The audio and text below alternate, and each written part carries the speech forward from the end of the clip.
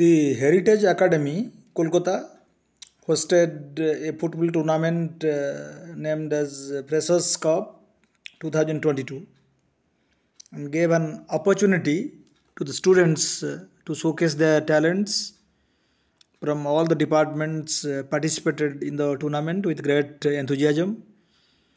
The occasion was graced by the principal, Professor Dr. Gaurav Banerjee, the Dean, Department of uh, Media Science, Professor Madhup Bakshi, the head of the Sports Department, Dr. Sunil Singh, along with the other members of faculty. The principal and the dean addressed the players before the tournament and inspired them to show their talents in the true spirit of sportsmanship. The winner and the runners up team were awarded with a trophy.